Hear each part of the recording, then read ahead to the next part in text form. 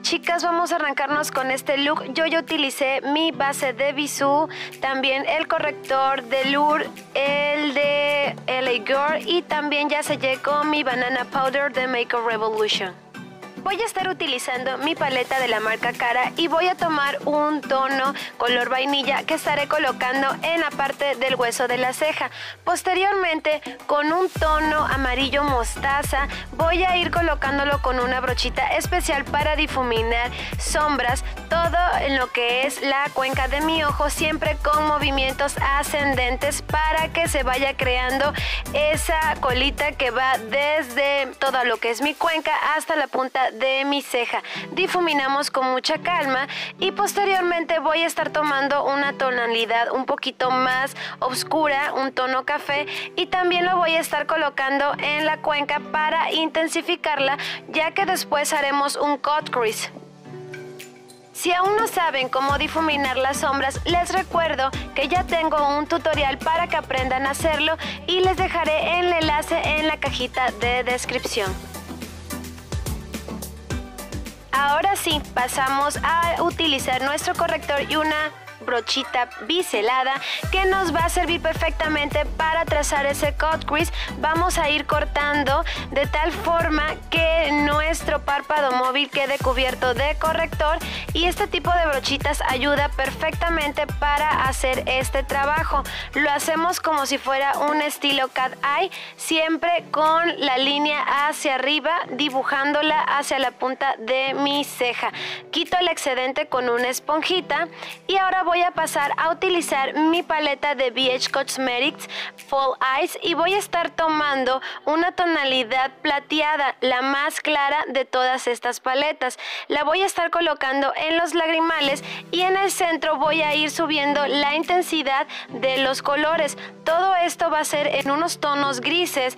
Después en lo que es la parte ya externa de la cuenca de mi ojo voy a estar colocando la tonalidad más oscura de todos los grises que cuenta esta paleta. En la línea de las pestañas inferiores voy a estar colocando tanto la sombra color mostaza como la café que agregué. Estas fueron de mi paleta cara. Las sombras que vienen en la paleta de BH Cosmetics todas son satinadas y con shimmer voy a estar utilizando un delineador en lápiz normal de los que normalmente nosotros conocemos y voy a estar delineando la línea de las pestañas inferiores.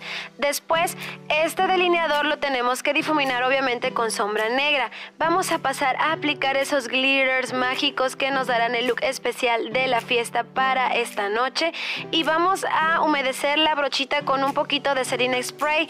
Voy a irlo colocando poco a poco y donde más glitter voy a colocar es de la parte central de mi párpado hasta la externa. Menos glitter colocaré en los lagrimales. Después con un aplicador voy a regresar a tomar la tonalidad plateada y voy a estar iluminando los lagrimales. Con mi delineador de NYX voy a hacer mi delineado estilo Cat Eye dramático como ya saben que a mí me gusta. Y el próximo paso será aplicar máscara de pestañas. La que voy a estar utilizando es la de Kegel Mastálica de la marca Kegel Javive y su nombre es Alarga. Y este look la verdad es muy lindo porque a pesar de que tiene esos tonos oscuros que son los grises, tiene como sombras de transiciones, unos tonos tierras que dan un contraste súper padrísimo. Y ahora es la hora del bigote. Bueno, no, no es cierto, es hora de colocar pestañas postizas, pero mientras tanto, mientras está secando ese pegamento, voy a maquillar mis labios. Puse un humectante de labios, un bálsamo labial y el labial que estoy utilizando es el tono Utopía de la marca Bisú de la línea Tinta Line que me encanta y me acordé que me hizo falta ponerme el iluminador que es lo que va primero. Pero bueno voy a aplicar un poquito de blush de una vez. También voy a aplicar el iluminador. Rocío mi brochita con un poco de Serene Spray para obtener un poco más de pigmentación. Y una vez que aplico el iluminador en la parte alta de mis pómulos en el centro de mi nariz y en la punta de la misma. También en el arco de cupido estoy lista para volver a maquillar mis labios. Yo decidí utilizar este tono de labial porque como su nombre lo dice es utópico, me gusta mucho y si no tienes esta tonalidad tú puedes utilizar un tono nude o el que más te guste siempre y cuando sea lo mejor para que resalte tus ojos y no tanto tus labios ya que el dramatismo lo vamos a tener en nuestros ojazos. Aquí ya estoy colocando mis pestañas postizas y las voy a presionar para que queden bien pegaditas y no se me anden bailando por ahí porque la tiene que bailar en la noche es la Flowers. Las peino para que queden bien paraditas y sellaré todo mi maquillaje con mis Serena Sprays de la marca G&K. Y este look, chicos y chicas, está terminado para irnos de fiesta y de antro toda la noche.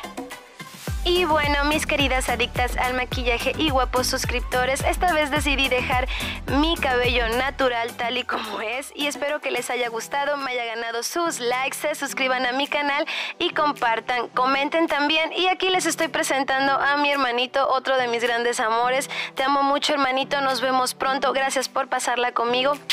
Bye. Se va la Flowers.